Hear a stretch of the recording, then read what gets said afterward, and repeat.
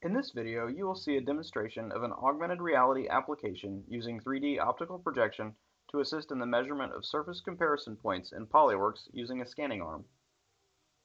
Surface comparison points are added in PolyWorks at regular intervals on the surface of the model. Next, the comparison points are sent to the projection system with the click of a button on the toolbar. This runs a PolyWorks macro that exports the location of the points that need to be measured. The comparison points are represented by white circles projected on the part. Collecting the data is quick and easy with the optical projection highlighting the areas that the technician needs to scan. Now that the measurements are completed, the macro button in PolyWorks is pressed again. The comparison points that were measured change from white to a color indicating whether that point is in, above, or below tolerance. Text may also be displayed that shows the actual deviation from engineering nominal.